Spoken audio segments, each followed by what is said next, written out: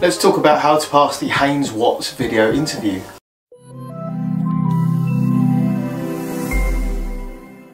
What's up guys, it's Mike from Job Ready English here with another video to help you get hired.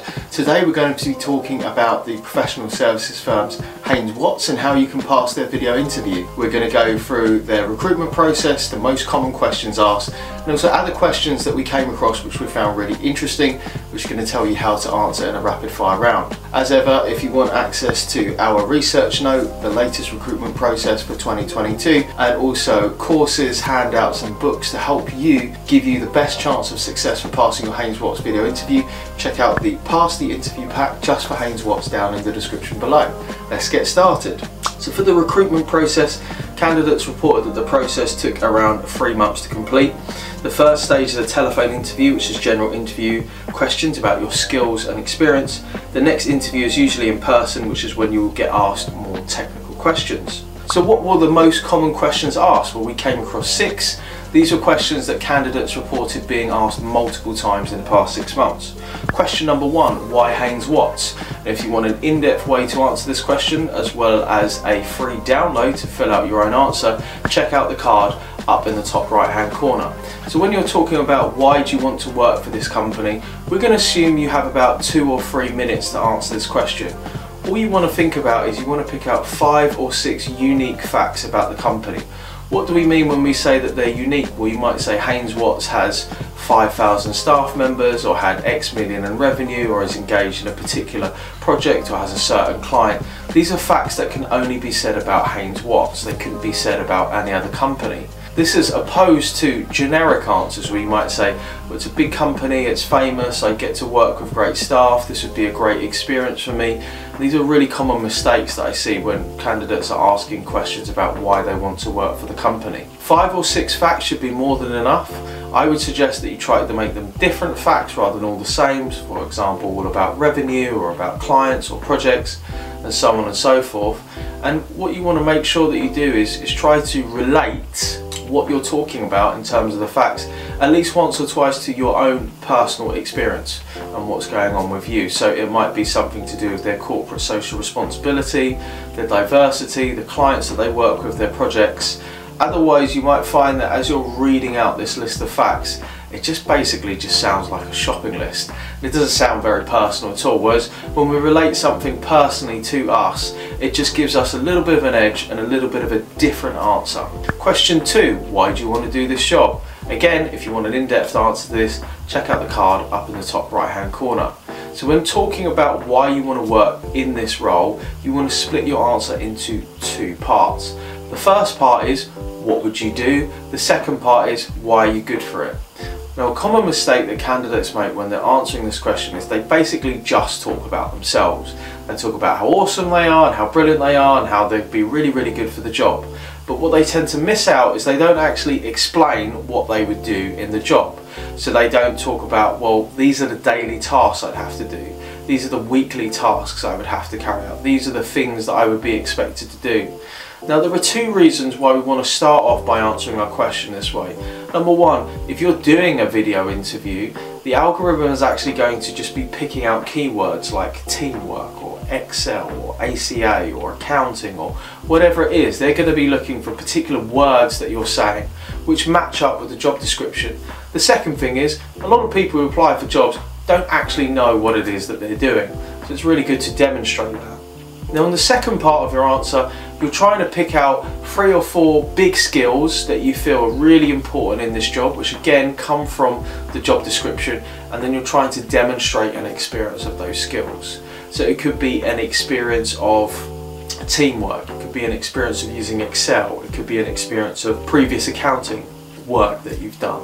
Whatever it is, make sure that you provide proof or an experience that you've done this because otherwise it's really just an opinion. It's like me saying, well, I'm an excellent sprinter. The first thing you're going to want to say is, um, well, according to what? I mean, do you have a video? And then there's me with the same bulb. That never happened. But that would be cool. Question number three, have you ever led a team? So this is a competency-based question using situation, task, action, result.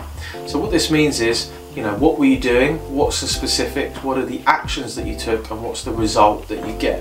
Now what you want to remember with competency-based questions is you really want to put the majority of the emphasis on the actions that you took. This should be 70% of your answer. Why is this? Well, have you ever led a team is basically saying, tell me about your examples of leadership. So when you're answering something like this, really what you want to do is you want to be saying what are the things that you did that made you a really good leader. So how you can do this is basically saying, well, I was leading a project at university and we had to do a financial analysis of Apple and these are the ways that I led the team. You know, I split up my resources, I made sure that we had regular meetings, I fact checked the work that people were doing, I stepped in to help whenever was needed. This is where the majority of your answer should go. Now, a common mistake that I see is basically people spend too long explaining about what they were doing in a general context, like the details about the particular project and whether they might talk too much about what other people did. And really, who's the employer interested in? You. They want to know all about you and what you did. So make sure you put an emphasis on that. If you're not sure about what are great leadership skills, then just pop it into Google. Question number four, what is your five-year plan? Now generally professional services tend to be relatively unique in the sense that if we're talking about audit or taxation, then you're going to be wanting to carry out some sort of chartered qualification, which takes about three years.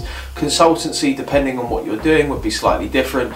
You might have a shorter training contract, you may not have so much formal qualification which you need to carry out. So the first thing that I would say is, do you have any kind of formal qualification or training that you have to go for? If not, then really your five-year plan is just to get through your you know, to complete your training as a graduate. And then you'd probably move on to maybe be an associate, then a senior associate, then a manager, a senior manager, a director, and then a partner, and so on and so forth. But it's worth just looking into what is the hierarchical structure of a professional services firm.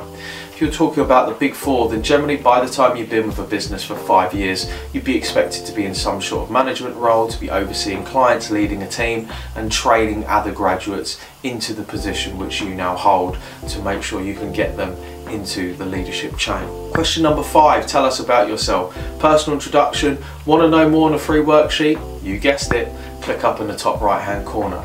A really good personal introduction is a great place to start. If you've never done an interview or if you're a little bit rusty and you're not really sure what to do, then a great personal introduction is a really good place to start because it forms a solid foundation for being able to sell yourself. And we split up our personal introduction into six parts, which is namely, who are you? What have you done? What would you like to do? Work experience, extracurriculars and volunteering, and finally hobbies and interests. So these are sort of the six things that you want to be splitting it into. So here you are, who you are is basically I'm studying X at Y. What have you done is like the last three to five years. So if you're a professional, it could be where you have worked. If you're a student, it could be where you studied before, whether that be a master's, a bachelor's, or A levels or whatever exam is specific to where you're from.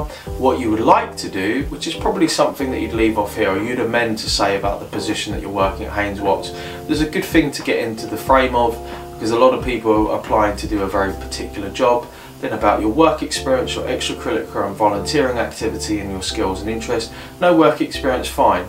No extracurriculars and volunteering experience, if you're a graduate, seriously go out and get some.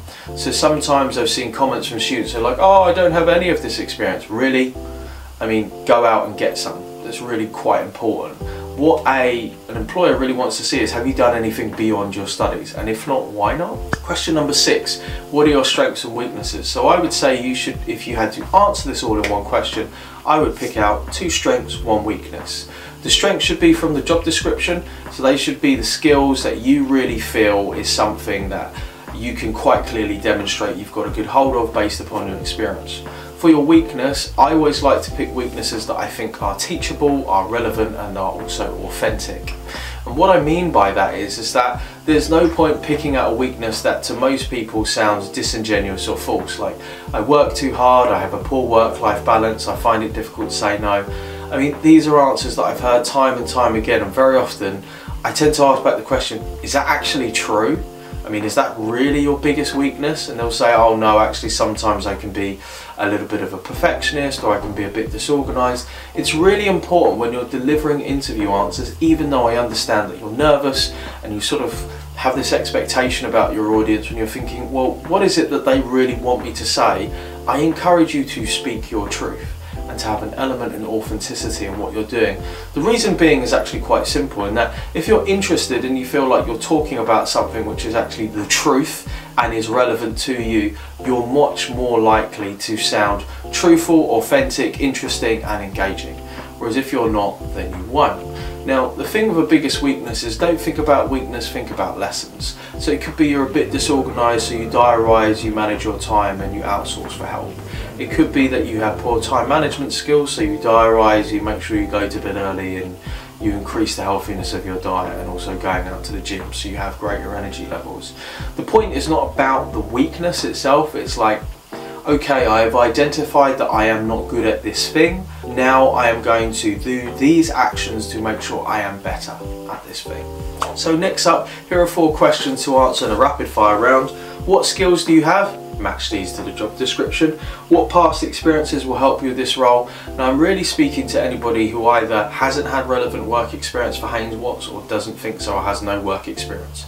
So non-relevant, a lot of students will have had service-based jobs. So you're working in a restaurant, a fast food place, uh, a takeaway, a coffee shop, whatever it is.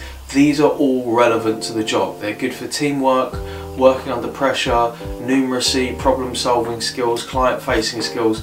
Customer service and general service-based jobs to the public are some of the most challenging jobs that you can do, particularly at a young age. Uh, I can remember doing service-based jobs and just finding it really stressful, but it's really good for multitasking, being able to good to be good to deal with people. So use those transferable skills. If you don't have any work experience, then think about your extracurriculars and your volunteering roles. If you don't have any, make sure you get some.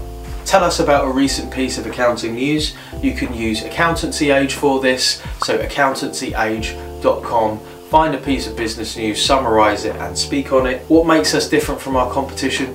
Definitely something to do some research. Look at Accountancy Age, look at General Accounting Company rankings and try and find out where specifically they're concentrating on, what industries they concentrate on, what particular clients it is that they're looking for, something along these lines. Guys, I hope that you found this video enjoyable. If you here, if you have, make sure to like the video, drop us a comment down below. Uh, how did we help you with your Haines Watts video interview? Do you have it? Were we accurate? What other videos could we do?